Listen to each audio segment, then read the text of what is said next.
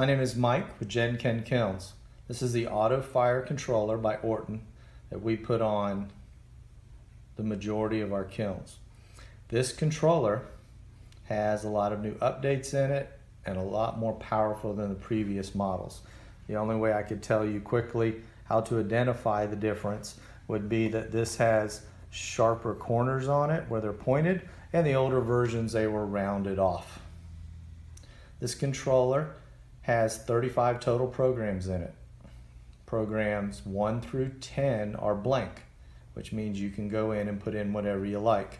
Programs 11 through 35 are actually pre-programmed ones that we have put in this controller to help get you a jump start, to help you get going a little quicker. While they may not be perfect programs, they are adjustable. So if you look in there and say, I don't full fuse at 1480, I want to go to 1470, please change the number. That's what they were designed for, to be able to accommodate whatever you need. Each one of those is also 20 segments long. So while we may have a three or four step program, if you needed more steps, you could always go out to at least 20 different ramp hold segments. On this controller, in the glass mode, the user program button, by pressing it, you can see program one. If we went to 11, which is the first one that's pre-programmed for a full fuse less than 10 by 10 in a brick kiln, you can see that we have a rate of 400 degrees an hour, and we're going up to 1170 for a bubble squeeze. We're going to do a 40 minute hold. If 40 minutes we thought was too short, you're more than welcome to change it. Then we're going to go 500 degrees an hour on up to the 1480 for the full fuse. It's going to hold there for 10 minutes. The next rate is going to be as fast as possible down to 900. 900 is a good annealing temperature for bullseye. The spectrum's a little higher, usually around 940 or 950. You're more than welcome to enter those numbers if you like. It's going to hold there for 30 minutes.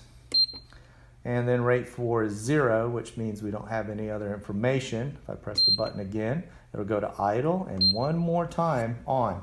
So now it's going to run this program. It takes a second for it to load up, and then it's going to start running it. There are a few options on this controller that we want everybody to be aware of.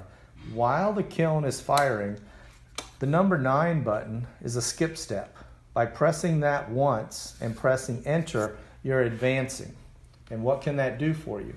If we have told this controller to go to 1480 degrees, but we were to look in the window or safely open the kiln and look and our piece is done at 1460 by doing skip step number nine and enter will tell it not to go all the way up to 1480 it will advance to the next segment which is the rapid cool going down to start the anneal there is also an alarm feature on here that you can press the alarm button.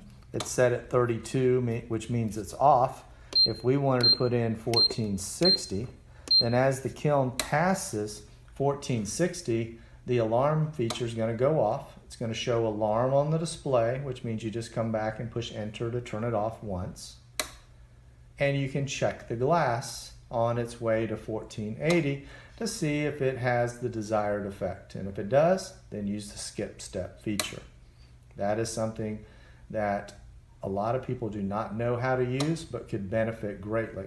It seems to help quite a bit when you do a slump because a slump is a firing that ranges from 1170 all the way to 1250. So we normally err on the high side and say we'll go to 1250 but we check it 1170, 1190, about 1200, 1220. And when we see our desired effect, that bowl has slumped where we like it, in a mold, over a mold, deep mold, shallow mold, then we'll use skip step. And the next time we fire that particular mold, we will fire to that temperature that we skip stepped at.